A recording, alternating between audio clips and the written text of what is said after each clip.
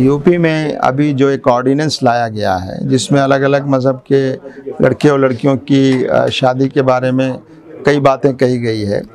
और ख़ास तौर से उसमें जो बातें हैं वो हम समझते हैं कि लोगों की आज़ादी के ख़िलाफ़ है और दस्तूर में कॉन्स्टिट्यूशन में जो आज़ादी दी गई है, उसके ख़िलाफ़ है। यकीनन कोई ज़ोर ज़बरदस्ती किसी का मज़हब तब्दील नहीं करा सकता और ज़ोर ज़बरदस्ती करने की सिर्फ़ शादी मज़हब के मामले में नहीं, किसी और मामले में भी यहाँ पर कानून और सज़ाएँ मौजूद हैं।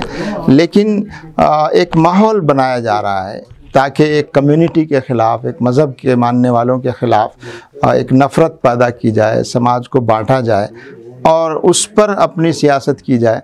तो ये जो रुझान है, ये जो ट्रेंड है, ये जो सोच है, ये बहुत ख़तरनाक है। इसीलिए जमात इस्लामी हिंद इस तरह के कानूनों की शदीद मुखालफत भी कर रही है।